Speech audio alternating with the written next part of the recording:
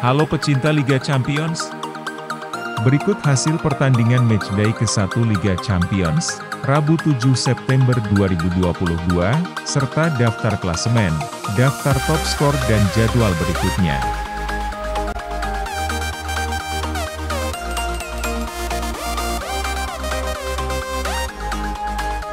Berikut hasil Liga Champion Matchday 1. Dinamo Zagreb menang 1-0 atas Chelsea. Borussia Dortmund menang telak 3-0 versus Copenhagen.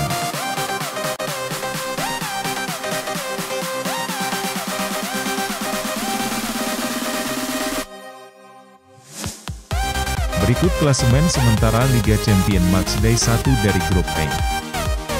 Dinamo Zagreb di urutan pertama dengan 3 poin. Disusul AC Milan, RB Salzburg dan Chelsea dengan poin 0.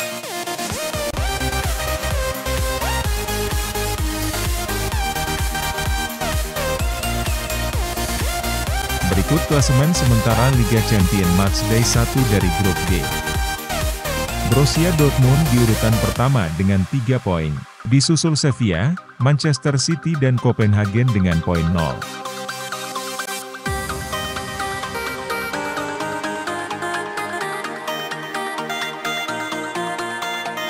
Berikut top skor sementara Liga Champion. Marco Reus di urutan pertama dengan satu gol, asal Borussia Dortmund, bersama Guerreiro, Bellingham, asal Dortmund, dan Mislav Orchik asal Dinamo Zagreb dengan sama-sama satu gol.